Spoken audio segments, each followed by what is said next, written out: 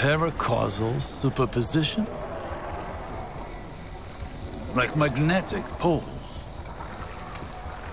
You've been busy.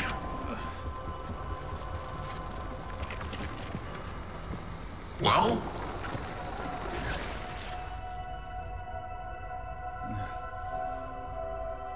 For so long, we saw dark and light as antagonists.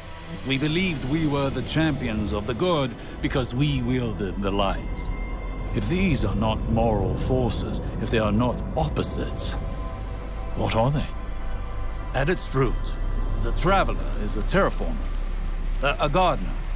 It generates natural life, physical transformation at a molecular scale across whole planets. This should have been our first hint.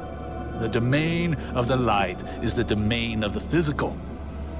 The darkness then is revealed in many facets. Dreams and nightmares, emotions, pain, memory. The nature of Strand confirms this line of thinking.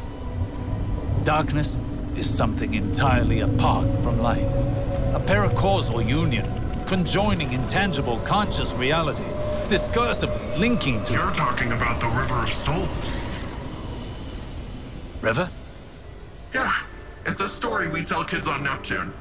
A nursery rhyme. Sort of. Since before history, there's been this raging river.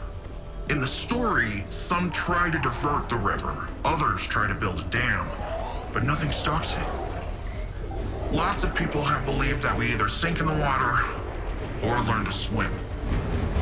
Don't we? See, that's the real wild part. We are the river.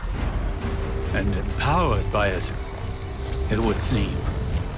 You know, I think I know of a place where we can find some of that power.